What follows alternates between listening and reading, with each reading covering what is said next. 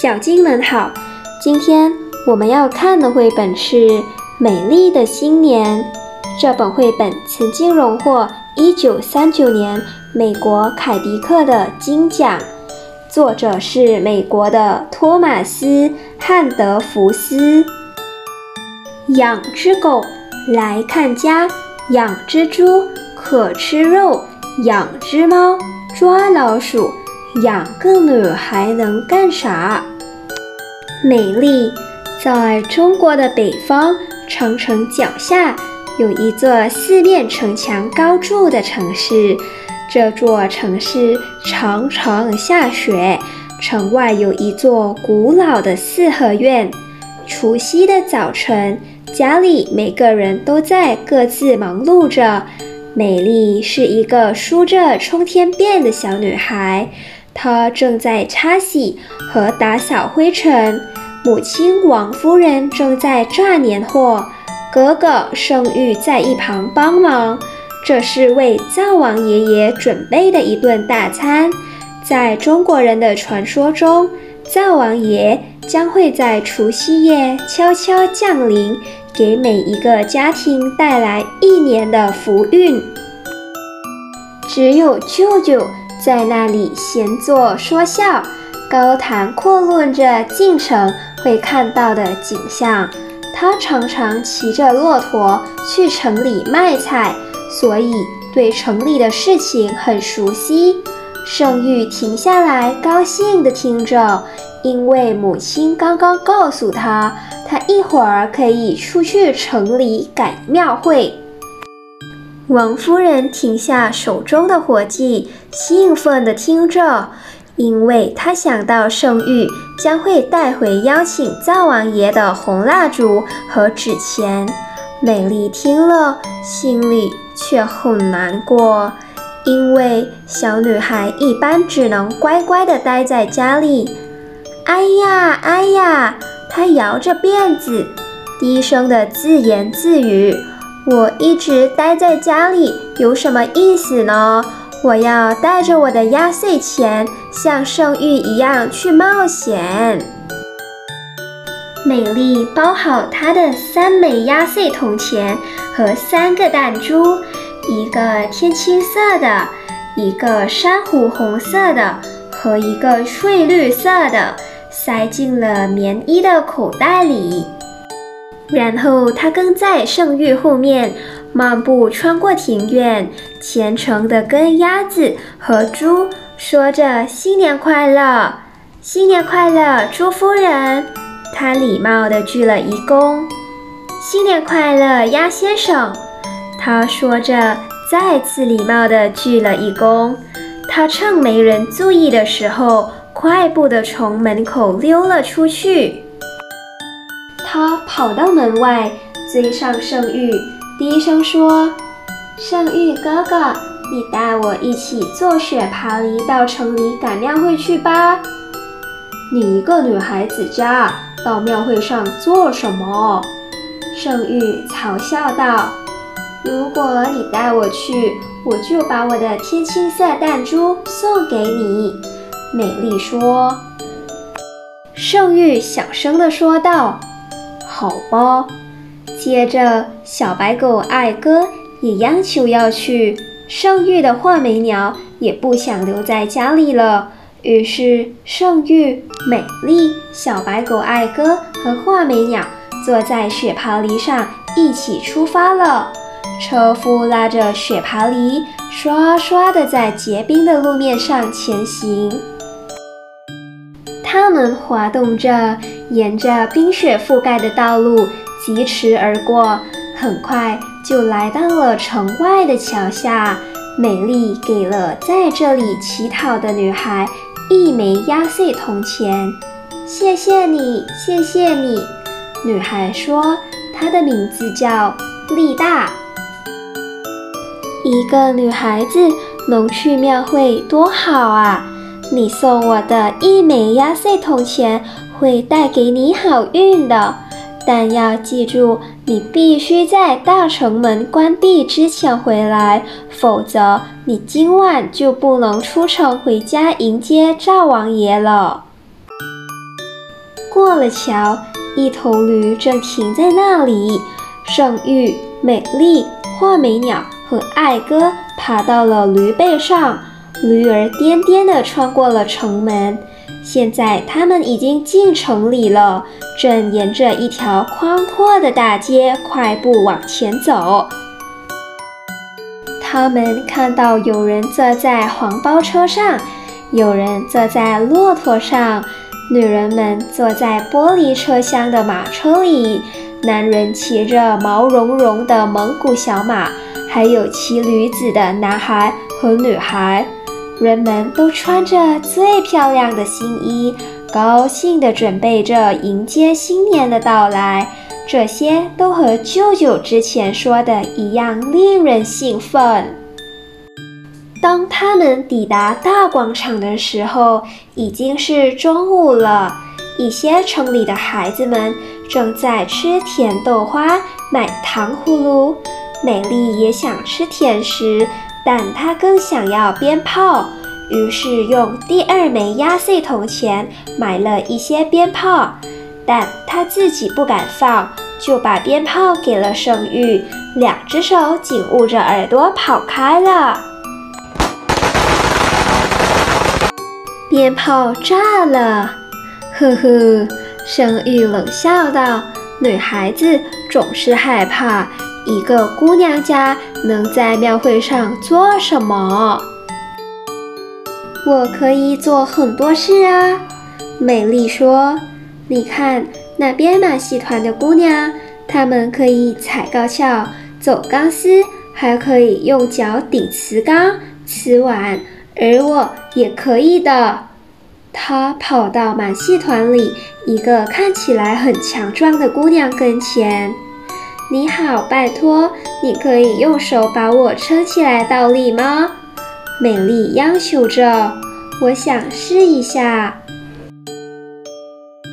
马戏团的姑娘抓住他的手，把他举了起来。美丽平衡掌握得很好，只不过腿有一点点摇晃。嘿，圣玉嘲讽道：“随便谁都能学会那种把戏，但只有男孩子才可以真的演戏。”圣玉扮成一个长胡子老头。正在和戏班子里一个男孩子一起表演。这个男孩子扮成皇帝模样，头上佩戴着一个犹如花盆的皇冠。他们正用又高又细的声音唱着戏文。美丽知道女孩子不能演戏。她看了看周围，想找其他事情做。露天广场的一个角落里，有一头戴着鼻环的黑熊。他想让圣玉看看自己是多么的勇敢。他可以让熊做把戏。当美丽拿出一些豆饼准备递给黑熊的时候，他的冲天辫都颤抖了起来。黑熊不断地立起，趴下。拍着爪子，想要美丽给他豆饼。那是一只弱不禁风的温驯老熊。圣玉大声喊道：“看我来射那只邪恶的野狮子！”首相留情！美丽尖叫着：“那有长耳朵的东西不是真的狮子，是两个男孩在舞狮子。小心！”别射到他们！美丽跑到了马戏团骑马的那些姑娘中，她骑上一匹小马，小马活蹦乱跳，随着她在马背上的舞动，她的冲天辫不断的来回晃动。他开始觉得自己像一个真正的马戏演员了，但突然间。他想起了圣玉，他急忙来到街上找他，发现圣玉在财神桥那里，桥下挂着一个小铃铛，铃铛下躺着一个瘦巴巴的道士，嘴里吆喝着：“扔铜钱了，扔铜钱了，敲中了，发大财啦！哎，美丽哀叹着说：“这是我最后一枚压岁钱了，铃铛又那么小，我敢肯定我怎么也打不中。圣玉哥哥，你帮我扔好吗？”他把最后一枚铜钱给了圣玉。铃铛响了，啊！我发财了！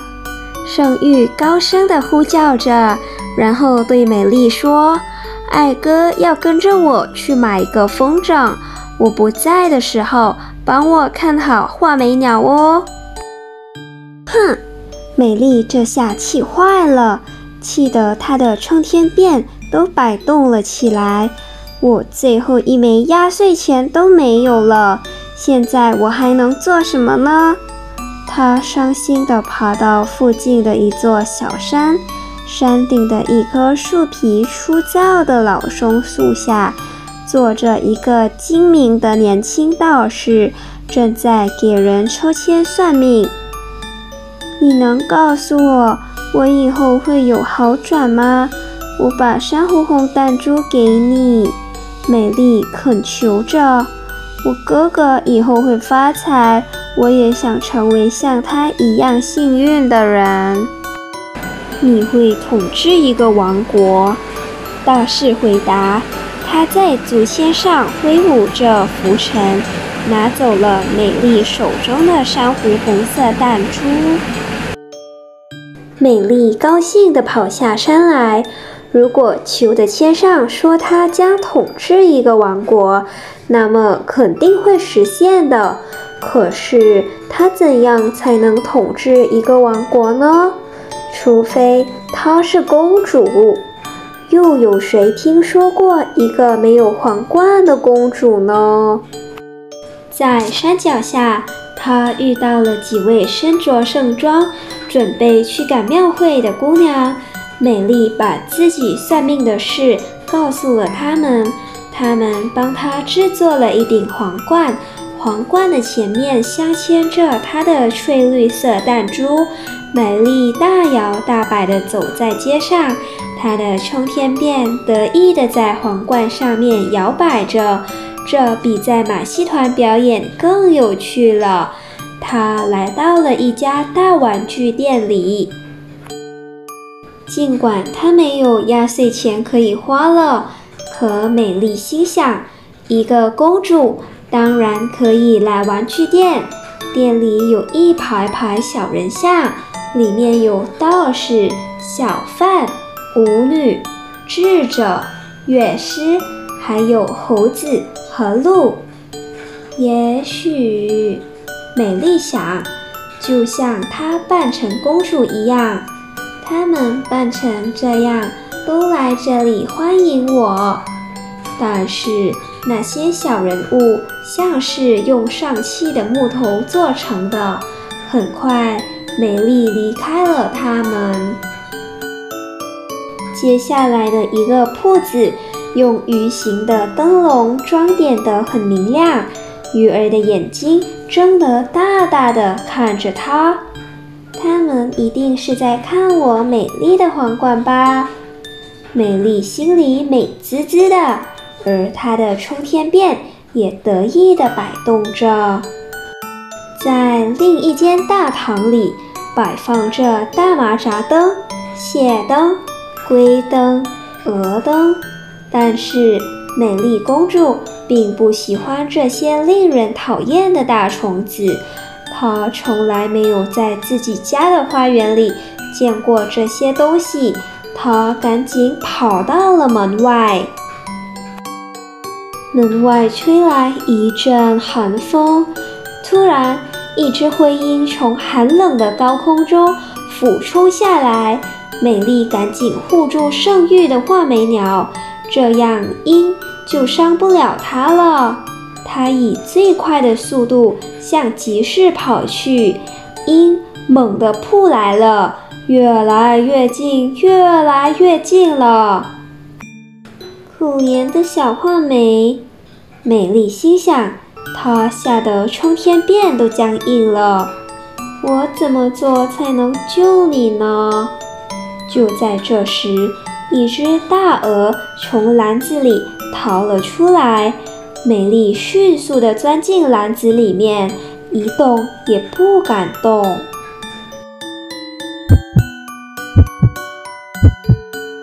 她听到自己的心脏在跳动，